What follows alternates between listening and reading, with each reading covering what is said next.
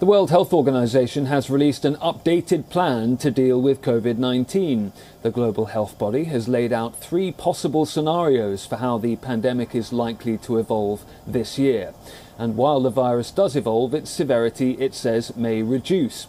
The updated Strategic Preparedness, Readiness and Response Plan details strategic adjustments that every country, it says, needs to make.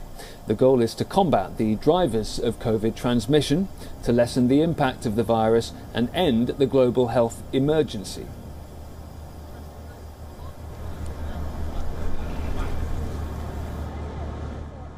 Today, WHO is releasing our updated strategic preparedness, readiness, and response plan for COVID 19. This is our third strategic plan for COVID 19, and it could end, should be um, our, our, it should, uh, it could end be, should be our, our last. It lays out three possible scenarios for how the pandemic could evolve this year.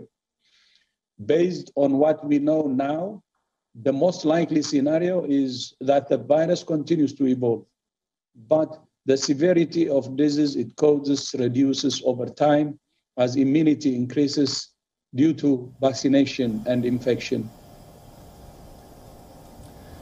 Dr. Tedros says there will be a periodic spike in cases and that deaths may climb as well as global immunity decreases. He says vulnerable sections of the population may well require periodic boosting against COVID 19.